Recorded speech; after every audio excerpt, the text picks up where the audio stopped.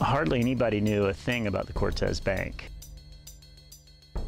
It was not until January of 2001 that Mike Parsons and Brad Gerlach of Southern California and Peter Mel and Ken Skindog Collins of Santa Cruz went out on an incredibly secret and dangerous expedition and summited what became the biggest wave on Earth.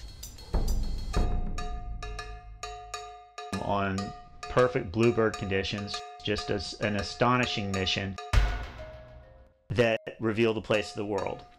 In 2008, I wrote about an even deadlier world record summit out there and became just obsessed with the bank.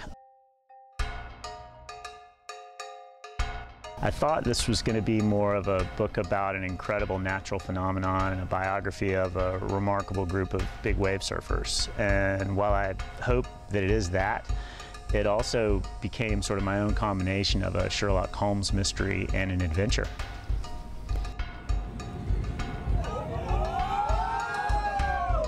I had no idea that I would find so much history out there.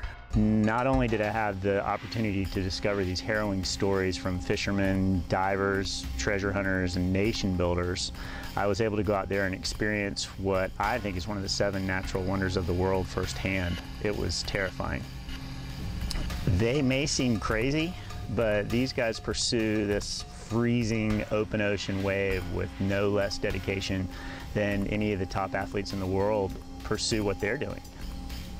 I think you could compare their addiction and obsession to that of the crew of the Pequod and Moby Dick. You know, this is their white whale. And whether they're divers or surfers or journalists like me, the Cortes Bank just has such a pull. It lures you out every time there's a swell and every time it almost kills you, but you want to go back for more.